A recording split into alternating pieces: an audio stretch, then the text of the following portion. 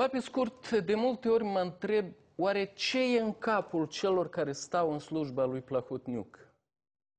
Chiar vreau să înțeleg ce îl face pe un om să-l deservească pe un individ care face cu bună știință rău, care este urât din 90% din populația țării și care împinge Moldova într-o direcție periculoasă. Mă întreb asta deoarece de la unii dintre oamenii aceștia nu te-ai fi așteptat niciodată să facă ce fac astăzi. Găsești printre ei inși deștepți, bine instruiți, apoi sunt alții cu mai puțină minte și în sfârșit inși fără minte în general. Sunt de diferite vârste, de diferite orientări politice, diferite etnii, pro-europeni, pro-ruși, moldoveniști, unioniști. Ce îi face pe niște indivizi atât de diferiți să ajungă într-o singură tabără otrăvită? Oare numai banii? Chiar pot banii să egaleze și niveleze pe toți într-un asemenea hal? Eu i-aș clasifica pe toți oamenii lui Plahotniuc în trei categorii.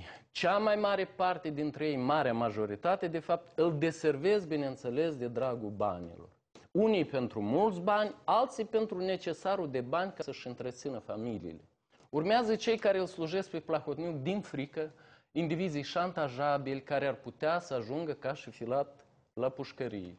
În sfârșit, a treia categorie, cea mai mică, dar și cea mai periculoasă, o reprezintă cei care o fac din convingere, adică mafioții conștienți că sunt mafioți și că ceea ce fac ei este corect.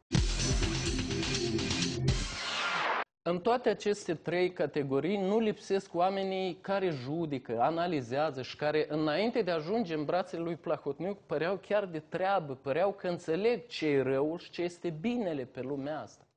Cum au ajuns unii ca ei să stea astăzi în slujba unui individ care 24 din 24 de ore face rău? Presupun că unii dintre ei s-au apropiat de Plahotniuc în perioada când acesta încă nu era monstru care a devenit astăzi. Și fiindcă nu s-au putut opri la timp, vor urma deja până la capăt. Este bine știut faptul că Plahotniuc, știți, să producă o primă impresie bună nu numai asupra unor bandiți, dar și asupra unor intelectuali, diplomați, oameni de afaceri. Când vine prima dată la el, omul se așteaptă să întâlnească un monstru pe care a auzit atâtea lucruri rele. Când colo cunoaște un tip simpatic, glumesc, generos și trăsătura pe care o subliniază mulți la Plahotniuc. El, spre deosebire de un filat, nu-i uită și nu-i trădează niciodată pe cei care i-au făcut vreun serviciu. Iată, lucrul ăsta îi cucerește pe mulți.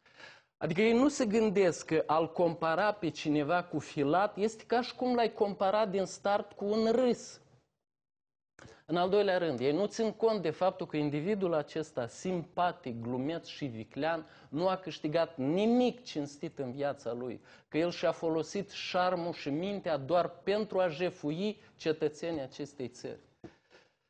Eu chiar vreau să știu ce cred toți băieții ăștia deștepți de lângă Plahotniuc despre faptul că Jizdan își antrenează astăzi mai nu în fiecare zi polițiștii să împuște în protestatari cu gloanțe de cauciuc, cică deocamdată.